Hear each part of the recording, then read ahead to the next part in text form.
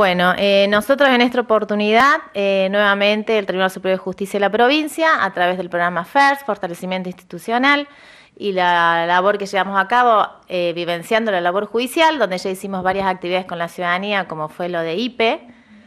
en esta oportunidad tenemos otro tipo de actividad consistente en informar a la ciudadanía, por eso invitamos a instituciones educativas, de esta ciudadanía, en general públicas y privadas, para que se acerquen a tribunales.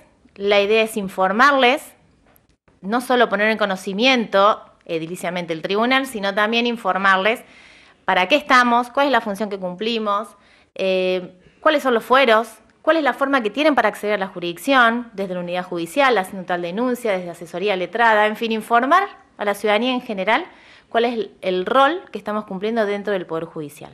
¿Cómo surge esta idea? ¿Se nota que hay una desinformación por parte de la gente? A lo mejor no sé si tanta desinformación, sino yo creo que es como que la gente por ahí ve que tribunales lo ve muy lejos, muy alto, muy que es inaccesible. Y no es así, porque nosotros estamos para brindar un servicio de justicia y estamos al servicio de la ciudadanía porque para eso estamos. Entonces la idea es achicar un poco esa brecha entre la ciudadanía y el Poder Judicial, los fines que conozcan realmente la actividad que estamos realizando para todos en general. ¿Cómo pueden hacer aquellos interesados en recibir estos cursos? Sí, todos los interesados deben comunicarse, acercarse a la sede de tribunales. Este es en Lisandro de la Torre 258, Oficina de Conciliación, donde estoy yo, que soy la coordinadora de la actividad, a los fines de que se acerquen y tengan la intención de realizarla, esta actividad se va a realizar entre el 26 y 30 de agosto en el edificio de tribunales. El horario es desde las 8 y media de la mañana hasta las 3 de la tarde. Ellos pueden elegir el horario que quieran venir.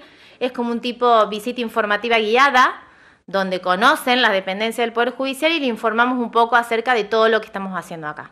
Ustedes ya emitieron, ¿no? Invitaciones a distintas instituciones educativas. Sí, ya hemos enviado, eh, hemos contactado a nueve instituciones educativas. Ellos tienen que, bueno, confirmarnos y se tienen que anotar a través de un link. Ya nos han confirmado algunas, faltan otras, pero bueno, la idea es que tengamos la mayor participación posible de todas las instituciones de Carlos Paz. ¿Es la primera vez que se hace? No, este es el segundo año que se está haciendo la actividad. El año pasado ya se realizó. Trabajamos con una escuela secundaria de esta ciudad y Toda la charla informativa estuvo a cargo de los jueces. Hoy tenemos panelistas que son abogados y empleados del Poder Judicial, que son los que van a dar la información que consideren necesaria. ¿no? ¿La idea es que se haga todos los años? La idea es que se va a hacer todos los años, siempre en el mes de agosto, así que los que no lleguen este año sepan que el año que viene se va a volver a realizar la actividad y si están interesados y no llegan en esta oportunidad, para el año que viene se va a volver a hacer. ¿Esto se puede, eh, y la gente se puede informar personalmente o hay algún medio también de comunicación? ¿De, de qué? De la actividad.